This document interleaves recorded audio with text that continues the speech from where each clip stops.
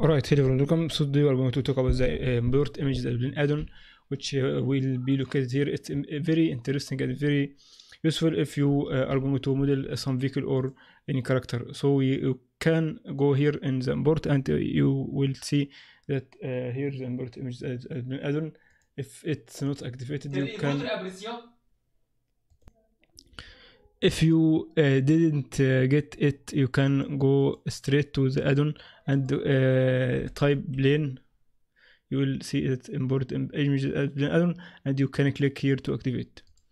So i will file i will go to file import images add, as a plane. And here uh, you can see that there is a lot of images. So i will select these three images uh, you can get from Pexels. So it's not it i will use it to be shade shadeless and uh, it's not uh, alpha like this one. Can say uh, there is some offset in the x axis to be 3 which is the distance between these images. And click import as you can see if you go to material you'll see that these are the images. You can go to rotate it in the x-axis this may be the right view.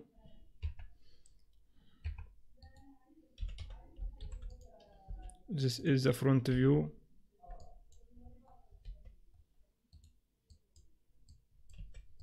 And this also may, maybe to be in the back view such as this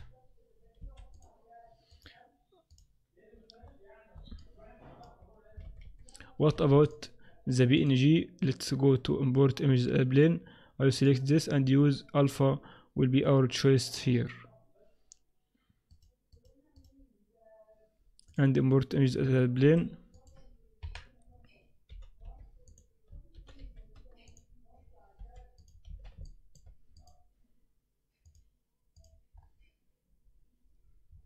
so i will go here and uh, click ok and it will be such as this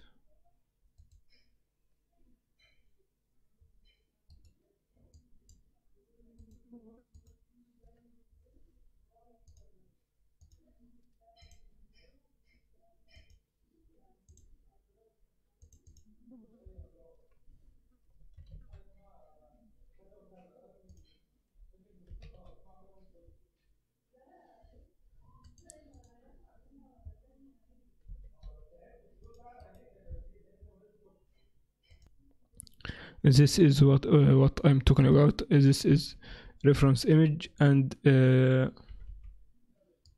each of these uh, reference images because they are PNG file.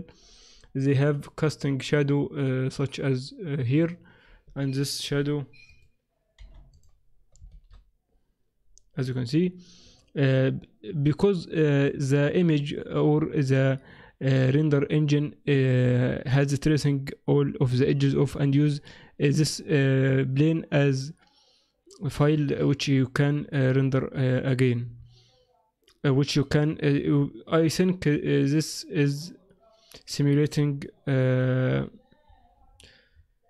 the reference uh, images. And this uh, add-on is very very useful and you should use inside your next project. I hope you enjoy this lesson. See you next tutorial